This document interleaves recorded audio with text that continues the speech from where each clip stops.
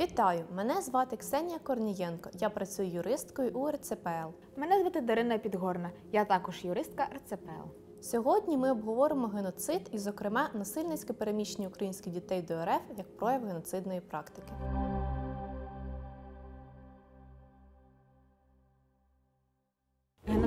Як проголошено в резолюції Генеральної асамблеї номер 96, є запереченням права на існування цілих людських груп, так само як вбивство є запереченням права на життя окремих людей. Цей злочин одночасно спрямований проти окремих жертв групи, до якої вони належать, і людської спільноти як такої.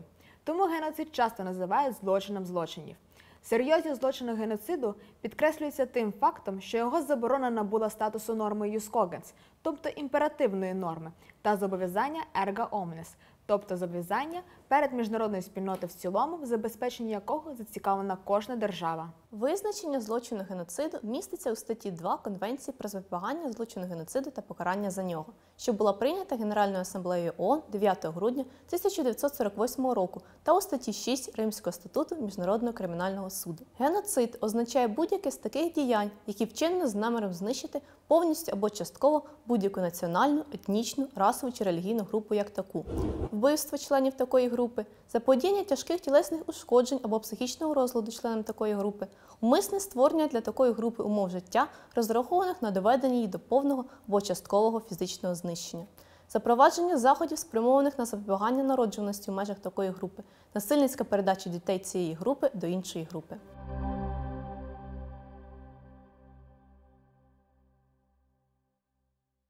Геноцид було визнано міжнародним злочином після вчинення Голокосту нацистською владою. Термін геноцид був винайдений видатним юристом Рафаелем Лемкіним в 1944 році. Лемкін визначив геноцид як знищення нації чи етнічної групи. За його словами, термін геноцид походить від давньогрецького слова генос, тобто раса чи плем'я, та латинського ціде вбивати. Як Лемкін зазначає у своїй книзі Вступ до вивчення геноциду, геноцид є поступовим процесом і може початися з позбавлення політичних прав, економічного переміщення, обмеження культури, а також контролю, знищення еліт, розриву сімей і запобігання розмноженню. Кожен з цих методів є більш чи менш ефективним засобом знищення групи. Фактичне фізичне знищення є останньою та найефективнішою фазою геноциду. Після закінчення Другої світової війни Лемкін був радником сторони обвинувачення під час Нюрнберзького процесу. В обвинувальному акті одним із пунктів йшло звинувачення у проведенні умисного і систематичного геноциду, тобто винищення расових і національних груп проти цивільного населення певних окупованих територій з метою знищення певних рас і класів людей, а також національних, расових або релігійних груп, зокрема євреїв, поляків і циган. Але геноцид як такий не був злочином, який підпадав під юрисдикцію Нюрнберзького трибуналу і не згадувався в тексті вироку. Рафал Лемкін стверджував, що міжнародна спільнота має нести відповідальність за запобігання актам геноциду та карати винних за їх вчинення, і він невтомно працював, щоб геноцид було визначено злочином згідно з міжнародним правом.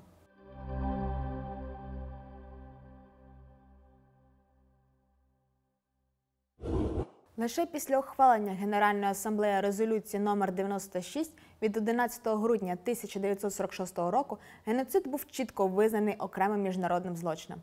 Конвенція про запобігання злочину геноциду та покарання за нього розроблена в основному шостим комітетом Генеральної асамблеї ООН, що займається правовими питаннями, була укладена 9 грудня 1948 року та набула чинності 12 січня 1951 року. Поняття геноциду, що міститься в тексті конвенції, не відображає позицію Рафаела Лемкіна повної міри. Наприклад, визначення геноциду, наведене в статті 2, є значно скороченою версією тексту, підготовленою експертами секретаріату за участю Лемкіна, які розділили геноцид на три категорії: фізичний, біологічний та культурний геноцид.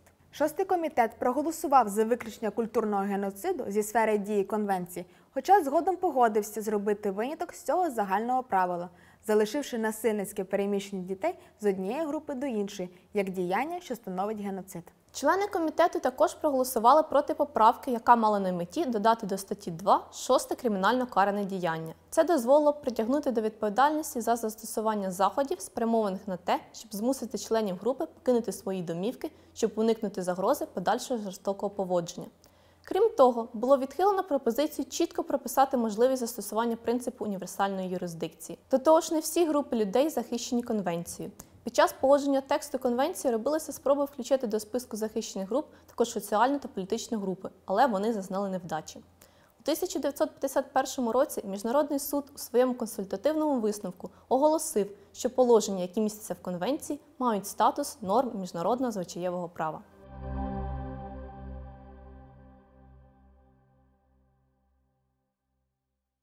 Щоб стверджувати про вчинення злочину геноциду, необхідно довести, що особа мала намір знищити захищену групу повністю або частково. Термін повністю або частково стосується запланованого обсягу винищення, а не того, чи був він фактично досягнутий особою. Перелік груп для кваліфікації міжнародного злочину геноциду є вичерпним. Міжнародні конвенції не дають визначення цих груп. Разом з тим, такі визначення містяться в міжнародній судовій практиці. Національна група сукупність людей, які мають спільний правовий зв'язок, заснований на спільному громадянстві, поєднаний з взаємними правами і обов'язками. Етнічна група група, члени якої мають спільну мову або культуру.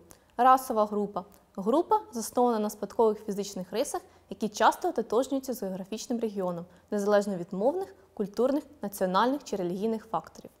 Релігійна група група, члени якої поділяють ту саму релігію, деномінацію або спосіб поклоніння. У контексті збройного конфлікту важливе значення також буде мати фактична вірність осіб певній стороні у конфлікті, а не їхній формальний юридичний зв'язок, що і буде визначати національність таких осіб.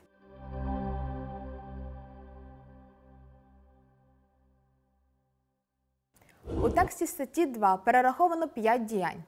Вчинення будь-якого з них зі спеціальним умислом кваліфікується як злочин геноциду. Перше діяння вбивство. Стаття 2 охоплює типову поведінку, яка є геноцидом вбивство членів групи. Геноцидні вбивства мають бути навмисними. Друге діяння заподіяння тяжких тілесних ушкоджень або психічного розладу. Стаття 2б Конвенції криміналізує заподіяння тяжких тілесних ушкоджень або психічного розладу. Прикладами тяжких тілесних ушкоджень є катування та фізичне насильство, яке спричиняє викривлення або серйозну травму зовнішніх або внутрішніх органів. Серйозний психологічний розлад означає більше, ніж незначне або тимчасове порушення розумових здібностей. При цьому ні тілесні ушкодження, ні психічний розлад не обов'язково повинні бути постійними або непоправними, але при цьому мають суттєво перешкоджати людині вести нормальне життя. Важливо зазначити, що Міжнародний трибунал щодо Руанди у справі Жан-Поля Акаєсу дійшов до висновку, що акти сексуального насильства та зґвалтування можуть становити геноцид. Сексуальне насильство було визнано від'ємною частиною процесу знищення групи під час геноциду в Руанді. Діяння третє. Умисне створення для такої групи умов життя, розрахованих на доведення її до повного або часткового фізичного знищення. Ця категорія заборонених діянь включає методи винищення, спрямовані на поступове фізичне знищення групи. Елементи злочинів міжнародного кримінального суду тлумачать термін умови життя як такий, що включає навмисне позбавлення ресурсів, необхідних для виживання, наприклад, їжа чи медичні послуги, або систематичне вигнання з домівок, але не обов'язково обмежується цими методами. На відміну від двох попередніх категорій, для визнання даного діяння злочином геноциду достатньо, щоб зазначені умови були розраховані таким чином, щоб досягти результату знищення групи. Четверте діяння запровадження заходів, спрямованих на запобігання народжуваності в межах групи. Це положення статті 2 було навіяно практикою примусової стерилізації, яку здійснювали нацисти до та під час Другої світової війни. Приклади таких заходів були наведені судовою палатою МТР у справі ЕКЄСу. Вони включають каліцтво статевих органів, стерилізацію, примусовий контроль народжуваності, розділення осіб за статтю і заборону шлюбів. Діяння п'яте. Насильницька передача дітей з однієї групи до іншої групи. Ця форма геноциду не була детально проаналізована у судовій практиці. Ймовірно, найбільш авторитетним джерелом, що надає тлумачення цього діяння, є елементи злочинів міжнародного кримінального суду, де діти визначаються як особи молодші 18 років. Зазначається, що термін насильницька не обмежується фізичною силою, а може включати загрозу застосування сили чи примусу.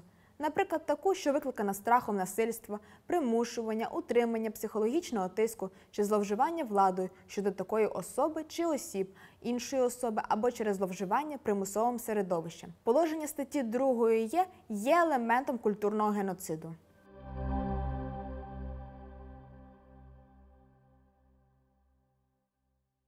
Особа несе кримінальну відповідальність і підлягає покаранню за злочин геноциду лише якщо вона вчинила заборонені діяння з умислом і усвідомлено. За Римським статутом усвідомлено означає вчинення діяння з розумінням того, що певні обставини існують або певні наслідки виникнуть за звичайного перебігу подій.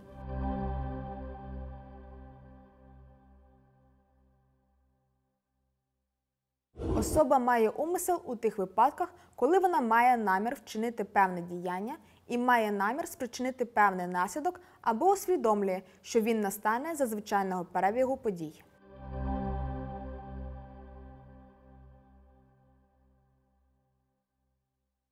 Як зазначив Міжнародний трибунал щодо Руанди у справі АКЄСу, геноцид відрізняється від інших злочинів тим, що він передбачає наявність спеціального умислу або долю спеціаліс.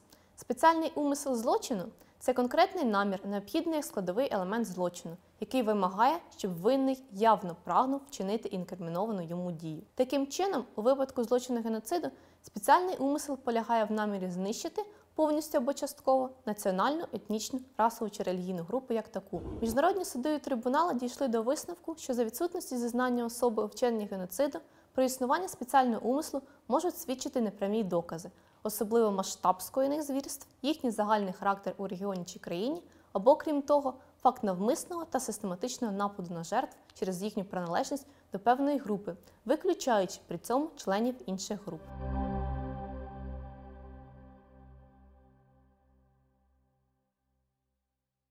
Протягом останніх десятиліть юридичне або політичне визнання в якості геноциду отримали, зокрема, нижнє зазначені події. Починаючи з 6 квітня 1994 року, групи етнічних хуту розпочали кампанію терору та кровопролиття, яка охопила центральноафриканську країну Руанду. Приблизно 100 днів бойовики хуту, відомі в Руанді як інтерхампе, вчиняли масові злочини з метою знищити групу Туці.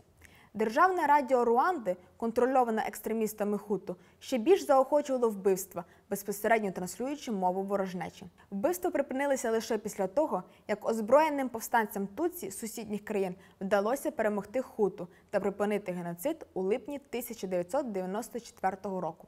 На той час було вбито понад одну десяту населення країни, приблизно 800 тисяч осіб. Геноцид здійснювався з надзвичайною жорстокістю. Жертв зарубували до смерті мачети, розстрілювали та спалювали живцем. Жінки також піддавалися сексуальному насильству, включаючи зґвалтування. У жовтні 1994 року був заснований міжнародний трибунал щодо Руанди. У 2008 році трьох колишніх високопоставлених чиновників було засуджено за організацію геноциду. У липні 1995 року під час боснійської війни у місті Сребниця було скоєно жахливе масове вбивство чоловіків та хлопчиків, що належали до боснійських мусульман. Місто Сребниця мало бути безпечною зоною під охороною ООН, але армія боснійських сербів під керівництвом генерала Радко Младіча захопила територію та почала систематично страчувати боснійських мусульман.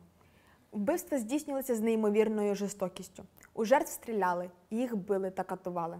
Багатьох з них також змусили копати собі могили перед стратою. Вважається, що під час геноциду було вбито до 8 тисяч боснійських мусульман. Міжнародний трибунал щодо колишньої Югославії висунув звинувачення кільком особам у зв'язку з різаниною в Сребниці. Генерала Радко Младіча зрештою визнали винним у геноциді, злочинах проти людяності та воєнних злочинах і засуджено до довічного ув'язнення у 2017 році. Різанина в Сребниці вважається одним з найстрашніших злочинів, скоєних у Європі після Другої світової війни.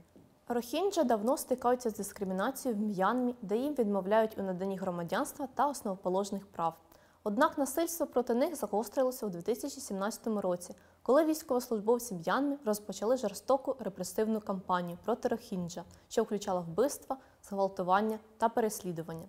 Репресії супроводжувалися примусовим переміщенням. Понад 700 тисяч рохінджа змушені були тікати до сусіднього Бангладеш. Міжнародна спільнота закликала припинити насильство та притягнути уряд М'янмі до відповідальності. 11 листопада 2019 року Гамбія подала до Міжнародного суду ООН позов проти М'янми, звинувачуючи її у порушенні Конвенції про запобігання злочину геноциду та покарання за нього. МС ООН зобов'язав М'янму вжити негайних заходів для захисту Рохінджа від геноциду, включаючи запобігання вбивствам, зґвалтуванням і руйнуванню їхніх будинків і місць поклоніння. Однак ситуація залишається жахливою. Рохінджа продовжують зазнавати переслідувань і переміщень, Уряд М'янми заперечує будь-які правопорушення. Уйгурські мусульмани, що проживають у Сіньцзянь-Уйгурському автономному районі Китаю, піддаються переслідуванням та стають жертвами звірств з боку китайського уряду. Уряд Китаю звинувачують в утриманні понад мільйона уйгурів у так званих центрах перевиховання або професійного навчання. Вони піддаються політичній індоктринації, тортурам та психологічному насильстві. Їх залучають до примусової праці, проти них вчиняють сексуальне насильство. Крім того, уряд Китаю звинувачують у запровадженні заходів, які обмежують народжуваність уйгурських жінок і примушування їх до стерилізації або абортів. Міжнародна спільнота, включаючи правозахисні організації та уряди, зокрема Канади, Великої Британії, Нідерландів, Литви та Франції, охарактеризувала дії Китаю стосовно уйгурів як геноцид. Китай водночас заперечує звинувачення та стверджує, що ці табори призначені для боротьби з тероризмом та екстремізмом у регіоні.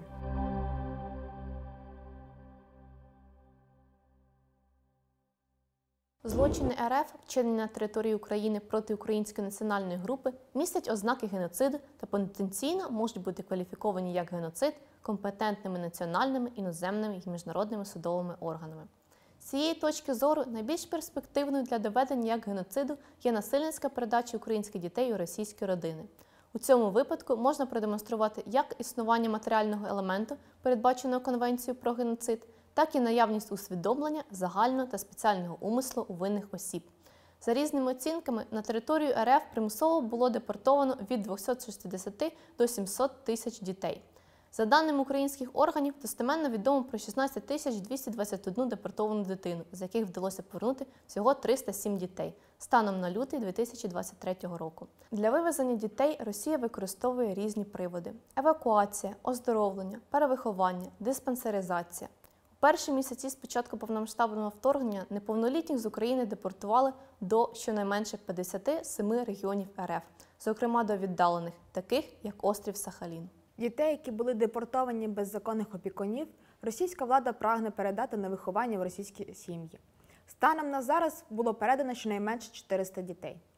Дітям, які були депортовані та всиновлені, російська влада намагається нав'язати російську національну ідентичність. Особисту відповідальність за вивезення та всиновлення українських дітей несе Марія Львова Білова, уповноважена при президенті Російської Федерації з прав дитини. Марія Львова Білова неодноразово заявляла, що всі діти з тимчасово окупованих територій України це російські діти. Крім того, вона стверджує, що з метою насильницької передачі українських дітей до російських сімей є викоріння їхньої української ідентичності та виховання у них поваги як до Російської Федерації, так і до її вищого політичного керівництва. Підсумуємо. Геноцид означає будь-яке з певних діянь, які вчинено з наміром знищити повністю або частково будь-яку національну, етнічну, расову чи релігійну групу як таку. До таких діянь відносяться вбивство членів такої групи, заподіяння їм тяжких тілесних ушкоджень або психічного розладу, умисне створення для такої групи умов життя, розрахованих на доведення її до повного або часткового фізичного знищення, запровадження заходів, спрямованих на запобігання народжуваності у межах групи і насильницька передача дітей однієї групи до іншої. Термін геноцид винайшов у 1944 році юрист Рафаль Лемкін. Пізніше ця концепція була закріплена в міжнародному праві через прийняття Конвенції про геноцид у 1948 році. Геноцид вважається одним з найтяжчих злочинів згідно з міжнародним правом. І особи, які вчиняють такі злочини, притягуються до відповідальності перед міжнародними кримінальними трибуналами або національними судами. Прикладами геноциду є злочини в Руанді проти групи Туці, в Сребніці проти боснійських мусульман, у М'янмі проти народу Рохінджа, у Китаї проти уйгурів. Дії Російської Федерації в Україні містять ознаки злочину геноциду, зокрема в аспекті насильницької передачі українських дітей до російських родин. У наступному відео ви дізнаєтесь про права жінок у збройних конфліктах, сексуальне насильство, пов'язане з конфліктом та покарання за нього.